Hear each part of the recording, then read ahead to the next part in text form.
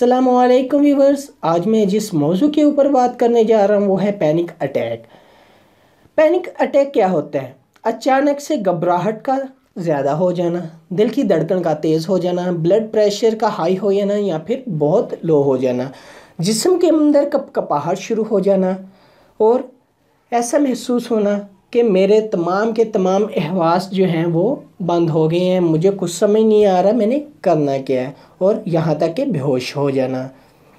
ऐसा महसूस होना कि मैं मरने लगा हूँ। मेरी ज़िंदगी ख़त्म हो गई है।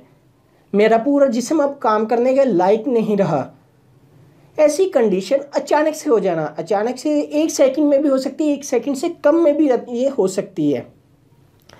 ये किसी भी कंडीशन में हो सकता है। अगर आप सफ़र कर रहे हैं तो उस हालत में भी हो सकता है। अगर आप पढ़ रहे हैं, खाना खा रहे हैं, कुछ भी कर रहे हैं तो ये अचानक से इस तरह की कैफियत का तारी हो जाना, ये पैनिक अटैक है। अब ये कैफियत मुसलसल अगर आती रहे, एक माह में चार बार और छः माह तक मुसलसल अगर किसी भी शख्स के अंदर आती रहे ये कैफियत तो वो पैनिक डिसऑर्डर का शिकार हो जाता है। अब इसकी काजिज़ को क्या क्या हो सकती हैं? इसकी वजूहत बहुत सारी हैं। आजकल के दौर में हर शख्स बहुत ज़्यादा स्ट्रेस को फेस कर रहा है।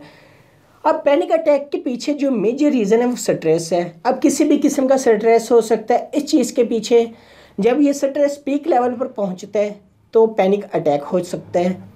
अब मैं बताऊँगा इसका तरीका इलाज या ट्रीटमेंट ट्रीटमेंट में सबसे पहले रिलैक्सेशन थेरेपी आती है और इसके साथ साथ साइकोलॉजिस्ट से कंसर्न करना चाहिए। साइकोलॉजिस्ट डिटेल स्टडी के बाद इसके तरीका इलाज बताता है और डिफरेंट तरह की टेक्निक्स यूज़ करता है, जिसमें कोगनेटिव बिहेवियरल थेरेपी है, जो बहुत ज़्यादा इफ़ेक्टिव है इस चीज़ के लिए, और इसके बाद कोगनेटिव ड्रिलिंग थेरेपी है, और इसके साथ साथ बिहेवियरल थेरेपी है, और सबसे बेस्ट रिलैक्सेशन टेक्निक्स हैं।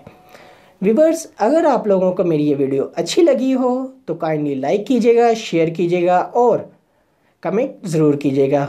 ओके अल्लाह हाफिज़ अल्लाह निगेबान